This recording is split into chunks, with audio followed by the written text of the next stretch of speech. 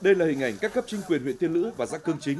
triển khai hỗ trợ đắp đê quai để chống nước tràn cho nhân dân di chuyển tài sản, vật nuôi khỏi vùng có nguy cơ ngập lụt. Tôi cũng là một người con của quê hương ờ, Phú Thọ và gia đình tôi hiện tại là nước đã ngập vào ngang lưng nhà. Tại địa phương, lực lượng tại chỗ đã cũng đã giúp gia đình di chuyển một số tài sản và người thân trong gia đình đến nơi an toàn. Nước lũ đang dâng lên thì chúng tôi đang thực hiện nhiệm vụ đưa bà con đến nơi an toàn. Được biết đến 15 giờ chiều ngày 10 tháng 9, những đối tượng yếu thế như người già, trẻ em, người khuyết tật đang ở bảy địa bàn có người dân sinh sống ngoài đê sông Luộc, địa bàn huyện Tiên Lữ.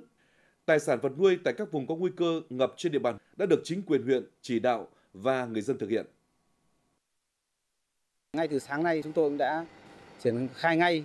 ờ, cái công tác ờ, phòng chống lũ các cái ờ, khu vực ờ, đê bối như Thụy Nôi và Hương Chính khẩn trương triển khai các cái ờ, biện pháp